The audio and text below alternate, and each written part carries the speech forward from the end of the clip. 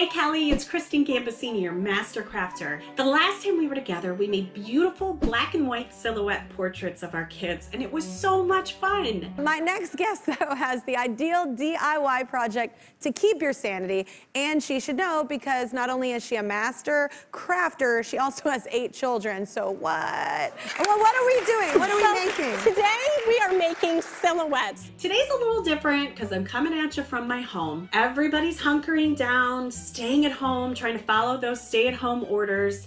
And so I am going to show you how to make homemade sidewalk chalk. And this is great. It's a little crafty, it's a little sciency. it gets the kids to be artistic. It's got a little bit of everything in it, and it's super simple to make.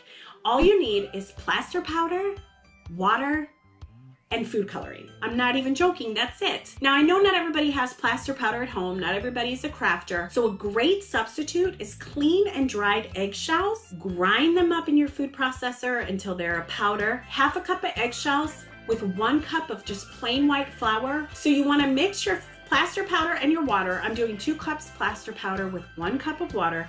And you wanna make sure that you're mixing them in something that can be thrown away. The reason I say this is because plaster powder hardens over time. And so you don't wanna use your nice kitchen bowls. You don't wanna pour this down your drains. Once you've mixed your plaster powder and your water, you want all the lumps out and it's gonna be almost like a real soupy mix. Once you've done that, you I like to separate them into paper cups or plastic cups so I can color the different shades that I want.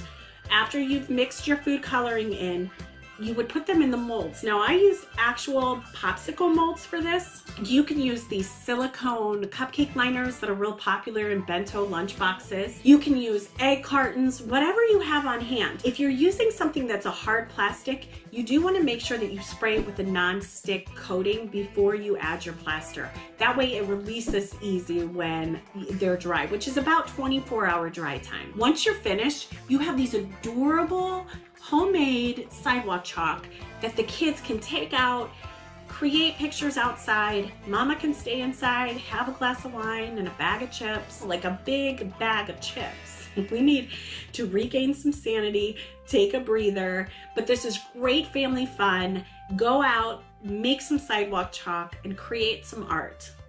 Subscribe to my channel. Subscribe to my channel. Subscribe to my channel. Subscribe to my channel. Please don't make me keep going.